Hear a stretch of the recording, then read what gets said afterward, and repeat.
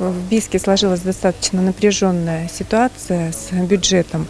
Это связано в том числе и потому, что город в течение последних нескольких лет активно участвовал в программе переселения из ветхого аварийного жилья. В результате этой программы по переселению у города как бы сложилась определенная задолженность.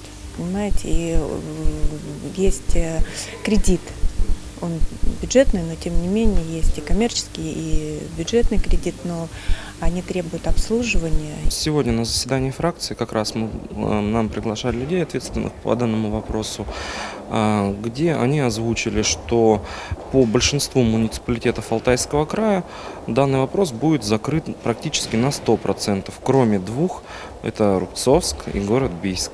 Имея статус города Наукограда, в принципе, не пристало иметь какие-либо задолженности. Дороги у нас не самого лучшего состояния, как бы э, помимо этого город Бийск э, неофициально является воротами в Горный Алтай.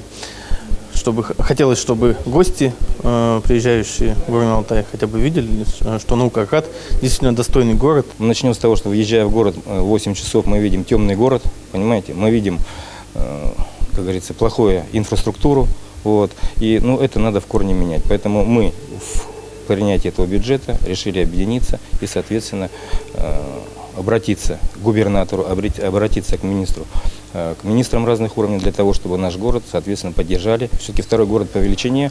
Если мы видим все-таки в какой-то мере растущийся город Барнаул, то на его уровне, на его фоне БИС, конечно, это, не знаю, он потихоньку превращается в какую-то деревню.